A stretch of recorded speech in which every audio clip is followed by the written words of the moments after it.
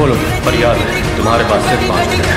मेरी भेटी बताओ कौन से ख्याली दानव की तलाश में हो ये साउथ पैसिफिक में मौजूद एक गुमनाम आइलैंड की सैटेलाइट है जो दुनिया के नक्शे में कहीं नहीं इसका ज़िक्र सिर्फ़ प्राचीन कथाओं में होता आया है। स्कल आइलैंड एक ऐसी जगह जिसे भगवान ने अधूरा छोड़ दिया।